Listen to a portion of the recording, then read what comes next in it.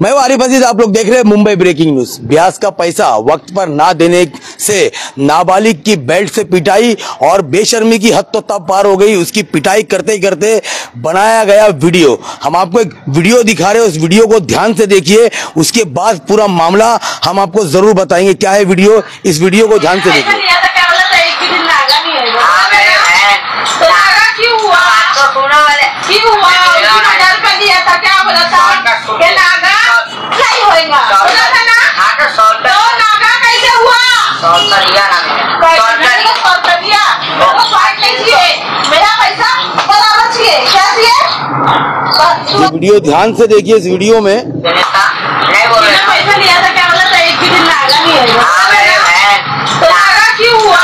तो सुनो वाले क्यों हुआ उसने हज़ार रुपया दिया था क्या बोला था कि नागा नहीं होएगा बोला था ना हाँ तो सौ तो रुपये नागा कैसे हुआ सौ रुपये लिया ना मैंने सौ पैसा रुपये मैंने तो सौ रुपया दिया मेरे को बात नहीं चाहिए मेरा पैसा बराबर चाहिए क्या चाहिए ब- दोबारा मिलेगा कि नहीं मिलेगा बराबर मिलेगा क्या नहीं इसका जवाब दे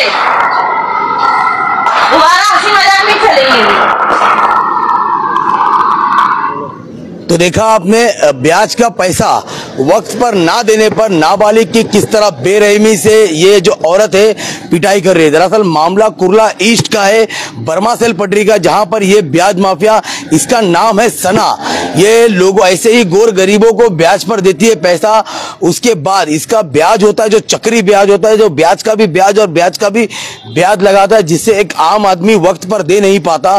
तो ये सना अपने शोहर के साथ, यानी अपने हस्बैंड के साथ, उसे अपने घर बुलाकर मारती है या उसके घर में घुस कर मारती है और बेल्ट से मारती है। और बेशर्मी की हद तो तब पार हो जाती है जब ये मारते हुए उन लोगों का वीडियो भी बना वीडियो भी बनाती है और उनको वायरल करने की धमकी देती है। ऐसे बहुत सारे वीडियो ऐसे बहुत सारे लोग हैं जो कि इसके खिलाफ आवाज़ उठाना चाहते थे, लेकिन उन लोगों के साथ कोई नहीं था। तो इत्तेफाक से वीडियो एक यूज़र ने हमें सेंड किया और ये बताया कि जो ब्याजखोर माफिया है, ये कुरला बर्मासेल पटरी पर ये लोगों के साथ लगातार यही जुर्म करते जा रही है। आपको बता दें, ब्याज के चक्कर में बहुत सारे मर्डर हो चुके हैं। जैसे कि हमने गोवंडी का मामला देखा था। गोवंडी के मामले में भी ऐसे ही ब्याज के पैसे को लेकर हत्या कर दी गई थी जिसके बाद कुरला वेस्ट की पुलिस ने इसका खुलासा किया। ऐसे बहुत सारे मर्डर हो चुके हैं लेकिन इन ब्याज माफियाओं पर कोई भी रोक नहीं लगती है। ब्याज माफिया बिना लाइसेंस के बिना पत्र के ऐसे लोगों पर जो गाँव से आते हैं जो गरीब होते हैं उन्हें अ, पैसों की ज़रूरत होती है, उनकी ज़रूरत पूरा करते लेकिन अपना ब्याज जो ये चक्री लगा लगा कर उन्हें, उनको पूरे से पूरा बर्बाद कर देते और जब कोई अगर ब्याज नहीं देता तो ये लोग उसे मारते हैं, उसके घर में घुस के जो सामान होता वो भी उठा लेते हैं। कुरला में ऐसा बहुत सारे मामले देखने मिले, और मुंबई में भी ऐसे बहुत सारे मामले देखने मिले, लेकिन ये वीडियो इंसानियत को शर्मशार कर देने वाला वीडियो है, क्योंकि एक मासूम, एक नाबालिग को पाँच सौ के लिए और वक्त पे उसका ब्याज ना देने पर महिला बोल बोलकर किस तरह बेल्ट से लगातार मारे जा रही है।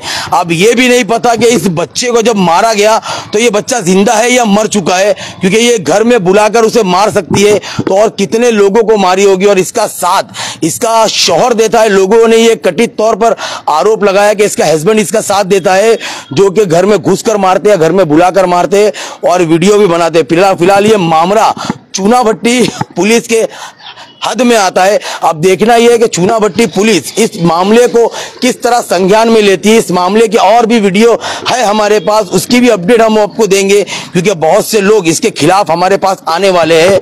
क्योंकि ये एक नहीं, दो नहीं, लगातार कई लोगों को ब्याज पे पैसा दे चुकी है। और ऐसे कुरला के पटरी पर, कसाईवाड़ा में बहुत से ऐसे लोग हैं जो ब्याज माफिया के नाम पर जाने जाते हैं। लोगों का खून चूसने के लिए ये कोई भी हद तक जा सकते हैं, चाहे उन्हें मार सकते हैं, कुछ भी करते हैं, लेकिन इन्हें रोकने वाला कोई नहीं है।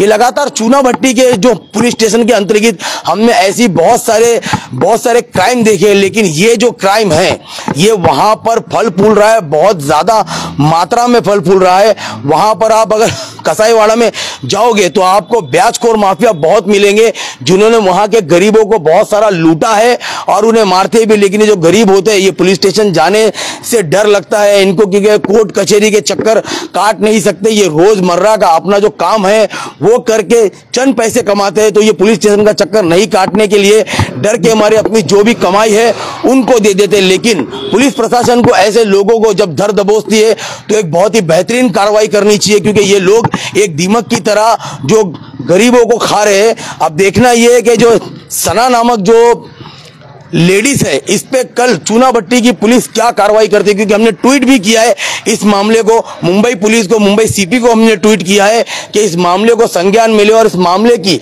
और भी अपडेट हम आपको देंगे। कल हम आपको इसके इससे ही मिलता जुलता इसी सना का और एक मामला हम आपको दिखाएँगे और ये ज़रूर बताएँगे कि सना पे क्या कार्रवाई हुई। ऐसे और अपडेट के लिए जुड़े रहिए मेरे साथ आरिफ अजीत मुंबई ब्रेकिंग न्यूज़ से।